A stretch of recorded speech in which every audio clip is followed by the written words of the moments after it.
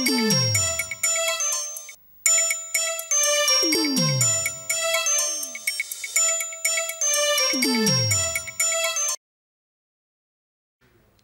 I and we I the new. Welcome, you're watching Hell Bent, because all these people are going to hell because they're having sex with each other, the same sex. Now, tonight we've got some very interesting guests. We've got Slash, what's that all about? And we also have, bloody hell, it's bloody too hot for that. Anyway, uh, welcome back. Uh, well, not back. You're still watching. This is the last show for this season, so you might have a bit of a break. Thank you very much for tuning in for the, the whole season. We keep working on the show and, and getting it better. And now, one of our favorite acts, Zuni and the Angels of Fortune with Stay Away. What gives you the right? Hey, hey, what gives you the right? What gives you the right? Hey, hey, what gives you the right? What gives you the right? Hey, hey, what gives you the right? What gives you the right? Hey, hey, what gives you the right? Oh, what gives you the right to hurt our children? What gives you the right to beat and kill them? What gives you the right to hurt our children? What gives you the right to beat and kill them? Stay away, I say to you, stay away, I say to you, stay away, I say to you, stay away from our children. What gives you the right? Hey, hey, what gives you the right? What gives you the right? Hey, hey, what gives you the right? What gives you the right? Hey, hey, what gives you the right? What gives you the right? Hey, hey, what gives you the right? I say stay away. What gives you the right? Hey, hey, what gives you the right? I say stay away. What gives you the right? Hey, hey, what gives you the right? I say stay away. What gives you the right? Hey, hey, what gives you the right? I say stay away. What gives you the right? Hey, hey, what gives you the right? Oh, what gives you the right to hurt our children? What gives you the right to beat and kill them? What gives you the right to hurt our children? What gives you the right to beat and kill them? Stay away! I say to you, Stay away! I say to you, Stay away! I say to you, Stay away from our children. Stay away! I say to you, Stay away! I say to you, Stay away! I say to you, Stay away from our children. stay away from our children. Stay away from our children.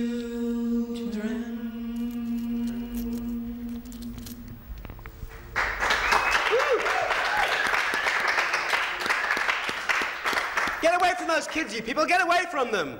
Slash, do you have kids? No, none, darling, none at all. Oh, all right. Only if they're old enough to dust, I believe. That's it, yes. Oh, all right. Yes, now, I'm I'm, here with. Slash, who you may have seen on our last show, and thank you very much for doing that. Now, you are uh, originally from Tasmania, is that correct? Yes, I am right down at the little apple isle, yes. Apple isle. Yes. You've got this very interesting sort of a Dame Edna kind of a thing happening. Oh, it's, it's, it's, it's, you know, years and years in Tasmania and trying to convince people that I'm really a woman. Now, um, you're, you're, uh, you opened Sexpo. Yes, I did, um, but uh, it was through some slight accident. You know, Miss Sue Ridge actually uh, twisted her ankle the night before, and I don't know who pushed her down the stairs, but um, yes, I got offered to do it, uh, which was absolutely fantastic. yeah. Now, and, and you had something that was called, I believe, the Horror Show. Is that right? Yes, yes. Uh, a friend of mine came along to that. Uh, Linda Blair herself came to that, and uh, I had a, a few other guests. Freddy Krueger, Hannibal Lecter, um, Vampirella came along. Yes. So I take it these are people that you portrayed. Um, no, not only myself. Some other drag queens too. Yes. Um, they played the other characters. Yes, but um, I am Linda herself incarnate. Do us a line. Do us a line. You know what she did? Your cup hunting daughter.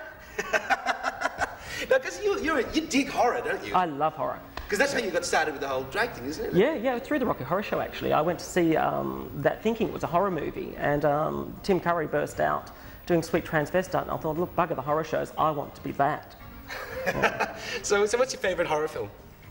It's got to be The Exorcist, yeah. The Exorcist, because it really is. It's a really frightening film. It's It that really doo is. doo doo doo music at the beginning. It's just, you know. See, I kind of like the sort of the big, great trashy films myself. Oh yeah, that's great too. Like Mars Attacks was wonderful. I thought, you know, the the special effects with a whole concept of um, big great film behind it. You know. But I actually think that the effects were much too good for the film. I think it ruined it personally. Oh, Definitely, yes. But you can't beat those wicked little aliens getting in there and um, convincing everyone that they were there for peace and then blowing them up. Now, um, you've, you've been in, in, in Melbourne for a short time. Yeah. Is it difficult getting getting work? And is it difficult breaking into the drag community? Uh, definitely, definitely. Um, I've, I've met a lot of nice people here so far, and I get a few gigs here and there, but like um, a lot of them seem to have their stage routines and their stage shows, and um, yeah, so. Oh, you're not getting to work now, I, tell you. I mean, maybe, maybe I'll just have to push a few more people down some stairs. I tell you, watch out, 'cause she's out there. She is dangerous. Um, what's, what, do you believe in all UFOs? Well, ever since I met Fox Mulder, of course. Oh, the truth is out there. Abduct me, abduct me. David Duchovny is out there. Oh, David Anchovy, darling. David Anchovy. Oh, well, something like that. Yeah. So, what do you think like life in, on Mars would actually be like? Uh, very red, I hear. Hot. Yes. Yes. Well, okay, cool. Thank you very much. Now, you're Thank actually going to be doing a little number for us later on. Yes, I will. And what, what's that going to be? I think it might be, I think he's gay. I, I, I think he might be gay as well. But right now, we're going over to uh, our resident funny man, Marty. He's, he's, he's very amusing. And, well, amusing. He's fucking. Marty! What are you talking about? Marty, take it away! Take it, babe. Because I don't know what I'm doing out here. I was at the zoo the other day, and uh, I don't know about you, but every time I go to the zoo, I just look around and I think, wow, what a, a vast range of wonderful and beautiful animals this planet of ours has produced. And I start thinking, maybe there's some divine reason behind this all. Maybe there's this single hand that has brought forth these wonderful bounties of nature. And then I think, if there is, then he's off his nut. Go, just have a look at some of these things. We've got three-toed sloths, so we've got duck-billed platypus. What kind of mind comes up with that? The tapir. Who needs the tapir? It's basically a miniature elephant in drag. What kind of person is running the show? But, uh, but anyway, I'd paid my money, so I decided to have a look around. And uh, the thing, thing about the zoo is it's a big con because you've, you've got all your childhood basic, you know, the, you've seen the cartoons where everyone goes along and they're having a lovely time. The elephant showers them, the umbrellas are out, and the, the lion's on a unicycle and everything. Nothing like that happens. I was so disappointed. I walked in, there's a mob of animals in cages staring at me, going, fuck off. I want to be back in Africa. Piss off. So uh, I'm wandering around and I go to the giant turtle enclosure. I don't know if you've been to the giant turtle enclosure, but there's, there's a fence about eight inches high to stop the things escaping. And you think, it's a good thing that thing's there. Those things are going to be right savages when they get up a good lumber. I think they should take the fence away, personally. Let the giant turtles have the range of the zoo. Just pick up a forklift and take them back to where they come from at the end of the day. But um, I was standing there and I was photographing the giant, the giant turtles, the giant tortoises, I should say. And I was there for about five minutes. And then I realized there weren't any tortoises there. I was photographing rocks. I couldn't tell the difference. It's a large grey thing. What did I know? The giant tortoises were all out the back in a shed having a kip. I saw I walked in, there's three tons of giant tortoise asleep, doing absolutely bugger all. I thought I paid for this. So now I, th- I thought I'd get a bit more action. I went to see the, the duck-billed platypus, and, tha- that's always exciting. Because you have to go down into this sort of like tunnel thing, and it's very dimly lit, and there's, you know, it's very quiet, and there's a big tank, and the platypus is swimming along. Do, do, do, do, do, do, do. That, that's the noise the platypus makes, if anyone's ever heard it. And um, there's big signs up saying, shh, the platypus is a nocturnal animal. Mine is a quiet world. You will scare me. So we're all tiptoeing in there. Someone drops their keys. And to add to the atmosphere, there's a tape of nocturnal noises, you know. Cheep, cheep, cheep, cheep. Woo! That was my owl impersonation. I, I got medals for doing that in high school. Woo! And I was standing there, the platypus is swimming along, doot, doot, doot, doot, doot. And then in the background tape, there's a noise like, ah! And we're all what the fuck was that? You know, we're, dro- we're dropping our keys, we're bumping into each other, someone knocks over a drum kit. Shh, shh, shh. Platypus couldn't give a stuff. He's still swimming backwards and forwards. Doot, doot, doot, doot, doot. But I think, I think the problem with modern zoos is they don't have enough modern animals. I, I think the modern animal that we really need to get into zoos are politicians. Because let's face it, let's look at the politicians of the past, the great Greek and Roman statesmen who all had their beautiful flowing oratory style, all in classical Greek or Latin. They were very educated. And uh, what have we got nowadays? The basic politician speech is it's not our fault, it was like that when we got here. Let's face it, politicians are de evolving. I say we put the politicians behind bars on display where everyone can enjoy these wonderful, beautiful, savage, but strange creatures of nature. Or, uh, if we're really stuck for animals, I'm sure we could always put Remy on in that hat. What do you think, Remy? Well, yeah, quite possibly. Now, I actually know a story about. Uh, I was in Holland, Uh-huh. and this woman had her finger bitten off by a turtle. I mean, how thick do you have to be to go like, you know, oh, They're savage when they get riled, I tell I you. wonder if it'll bite. Oh, Oh, it might take a while. But we've got to go. We've got wild rices here. Wild rice, they're here and they're, they're wild and ricey. They're like sort of cornflakes.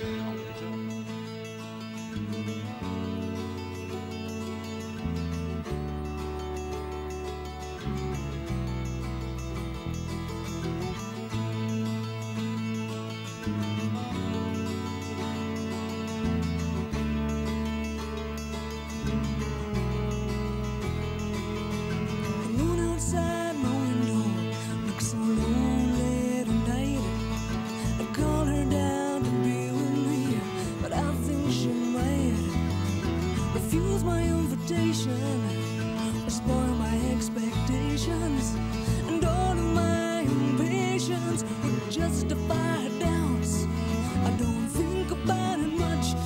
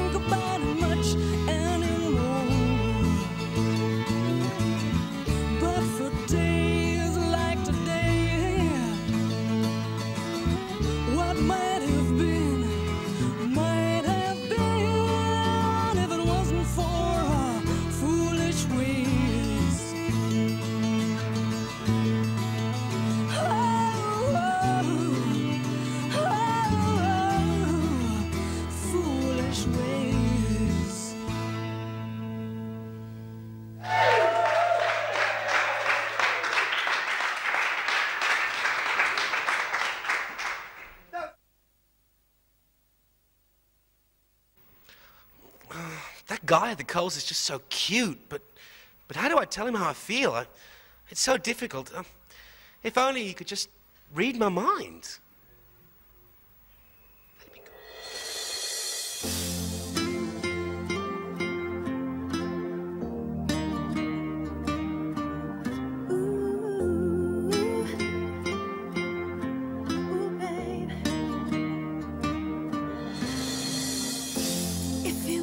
Read my mind, love, what a tale my thoughts would tell.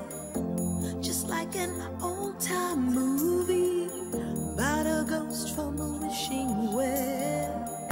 In a castle dark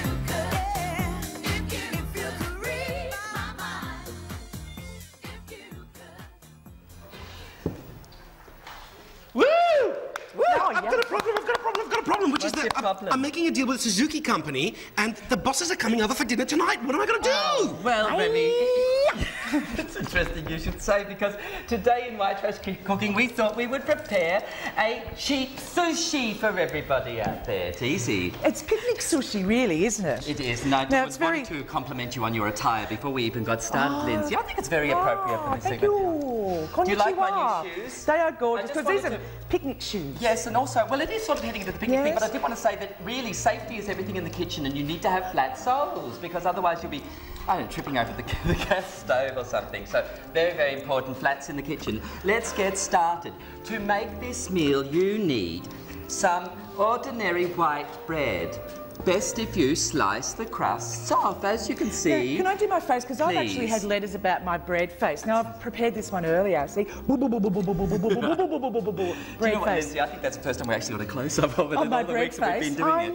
know. Should have prepared your bread earlier and it will look like that. Because we've cut off the crust. Yes, this is the basis for your sushi. Also, you will need for this segment... Oh, dear. Some, um, I'm dribbling. Some what is that? sardines. Sardines. I've chosen one that is in tomato sauce because I think it's very nice. That'll add the flavour. And just just some really some green things to add in there. Now, method. Do pay attention. Let's have a So sip no, I've never done this before. Well, it's quite I- easy. You're go- walking me through this one, so to speak. Uh, look, Because our I- viewers will notice, Linzi, that we are profiling orange cordial. we are profiling orange cordial, and it came in that clear bottle with no labels on it whatsoever. No, because there will be no gratuitous publicity here on Bent TV unless, of course, you're paying No sponsorship. whatsoever. Okay, place the sardine on the bread. Right, Very delicate. delicately. I think that, there we go. There we go. Sardine is on the bread. Lovely. Oh, yeah, horrid. No, I think it's okay. It's just a tomato sauce. That's the big, the actual base of your sushi. You probably need to sort of, of course, the Japanese Oh, are you should very, be doing very. that with nails. Well, it's, I haven't got any condiments or whatever they call them. Now, do you want to just slice up that as well? While you're doing that, I'll explain. Well, just small, so it fits in the what? sushi. Do you want little chopper bits? Little pieces. Oh, you're kidding. Only two minutes will never make it. I wanted to espouse the the wonderful benefits of the humble cucumber, and I can't understand why such a fantastic vegetable has been used in such things as cucumber sandwiches. The God, they've got the most anal thing in the world, don't they? We're going to use some cucumbers later on, but you can use these for anything, Linzi. You You, can, can. put them on your eyes. Very refreshing. Of course, we've You done could- that before We too, did haven't in we? our Yes, last, last- face yes. thing. So you put those there back to the sushi. Yeah, did I do that right? I think you've done well. Yeah. Now, this is the tricky part. You actually roll very delicately.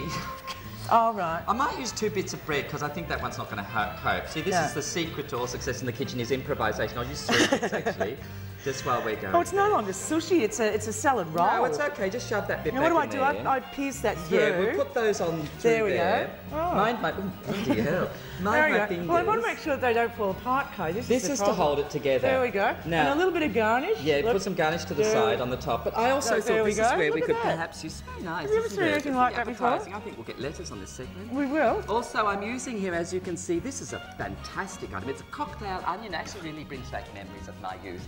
I'll just have one while we're talking. Have one- Hey, what are you doing?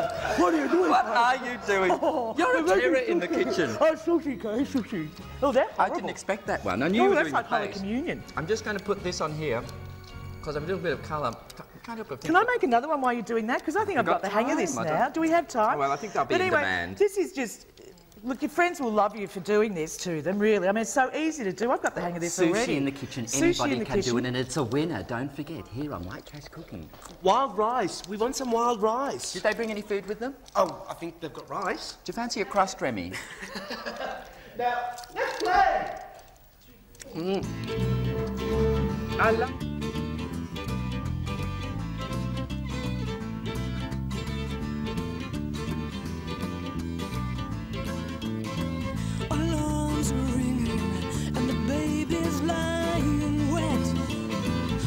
Didn't feel